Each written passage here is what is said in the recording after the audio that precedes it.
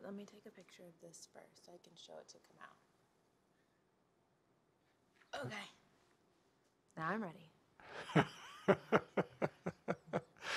Thank you. Uh, first question Can you assess your play today? And in relation to that, how you feel about your game going into your next match, which possibly could be against Serena?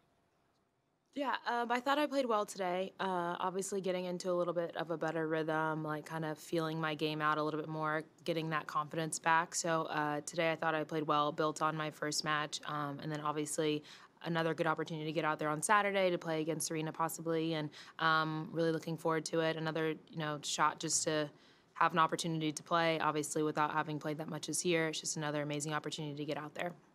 And physically, how do you feel physically going into your next match, considering you haven't played in quite some time? Oh yeah, uh, yeah. I, I mean, I feel good. Nothing's wrong with me. Fingers crossed. Not everything's good so far. Okay, this is uh, a question that has to do with the U.S. Open atmosphere. If in fact you were to play Serena, to Americans at the U.S. Open, no fans. What's your, you know, how do you wrap yourself around that?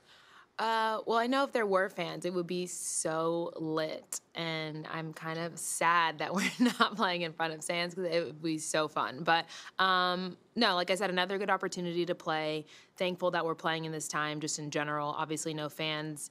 The atmosphere won't be as big, but obviously a big opportunity to play against the greatest player in the world. So, um, yeah, unfortunate, but still fortunate.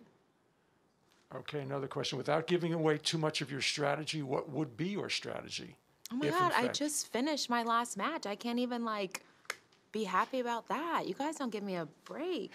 um, I would never tell you guys my strategy, so I don't even know who asked that. Okay, we're just uh, just waiting to load someone in. It'll be on the video board right in front of you.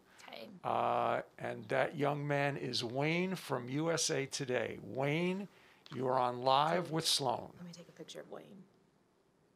Thank you for calling me young, Gary. You're a liar.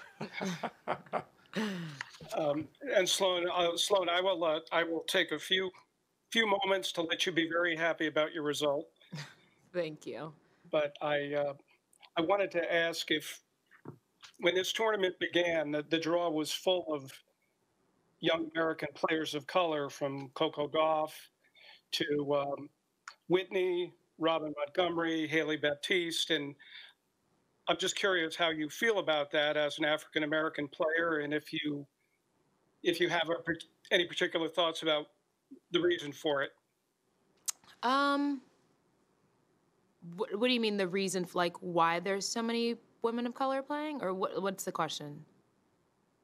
Yeah, Yeah, yeah, exactly. Uh, well, I think it's awesome. Obviously, um, right now, kind of leading our sport on the women's side is African American women, which is amazing. From Naomi to Coco, Venus and Serena, obviously Maddie, myself, um, and then obviously the younger girls that are coming up. Um, I think that there's an amazing opportunity to get more um, women of color in the sport, and obviously tennis is giving us so much in our lives. And um, I think it's an amazing opportunity right now to get more people of color in the sport because you can see um, now there's so many amazing players playing, and um, it's a good opportunity for us. Thank you. Sloane, thank you very much. Oh my God, I love these. So can we just change to these all the time? They're like literally four minutes. It's so good. Keep us in your thoughts. Oh my God, I will. I'm gonna definitely.